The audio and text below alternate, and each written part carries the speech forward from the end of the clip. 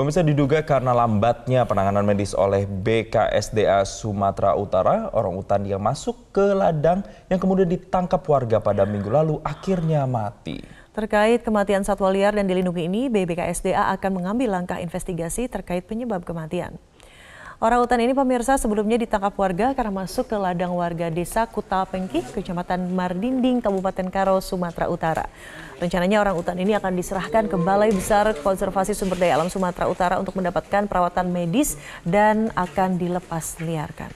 Berdasarkan keterangan warga sekitar, orang utan ini sempat sadar setelah dievakuasi.